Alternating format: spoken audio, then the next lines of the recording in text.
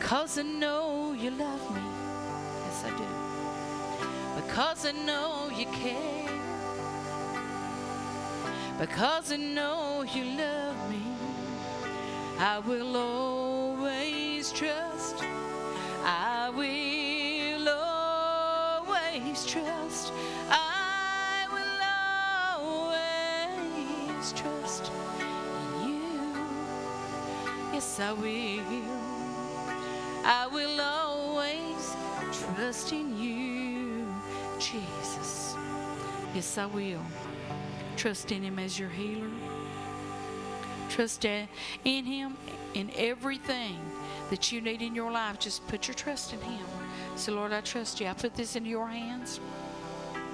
Lord, I even put myself into your hands, and I trust you to keep me. I trust you to keep me. I give you my heart. I give you my life. And I believe. I believe that you're working right now in my life. If you'll say that, if you'll believe that, then you know what? You'll see the glory of God.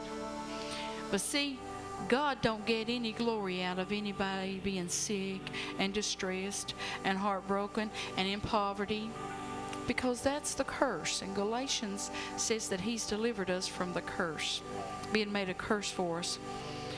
Because everyone that hangs on a tree, it says, and be crucified. Jesus bore that curse for us because He was crucified. Cursed is everyone that hangs on a tree.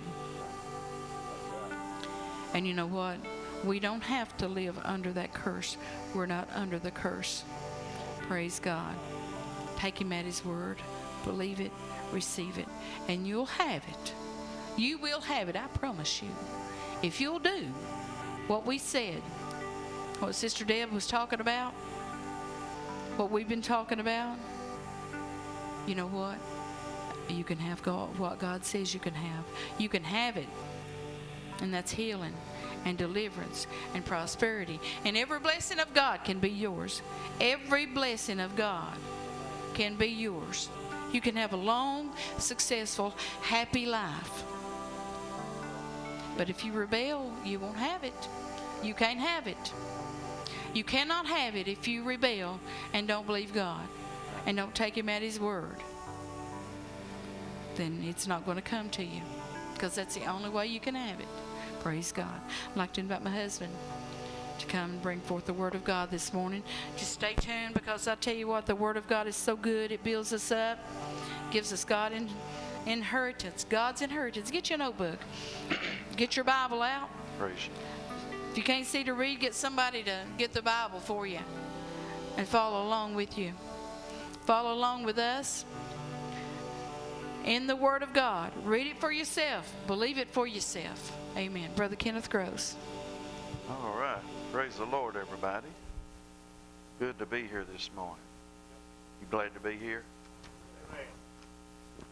I think it's a we have a great privilege. Blessed of God to be here this morning. Aren't you glad He allowed us to be? Amen, amen.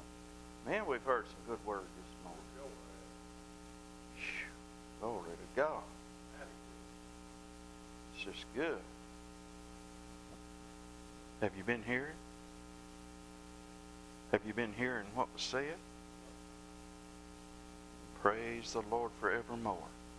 Let's have a word of prayer and then we'll we'll get into the word. Father, we and open up your heart this morning.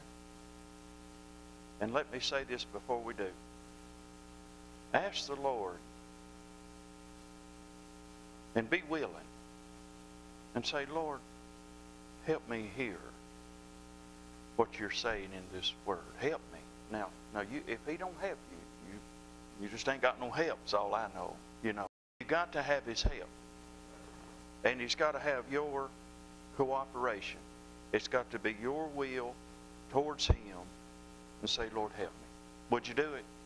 And if you'll do it out there this morning, or whenever you're watching the broadcast, and say, Lord, help me. It's your word, and I want it. And I'm opening up my heart to you. Now, now do it today.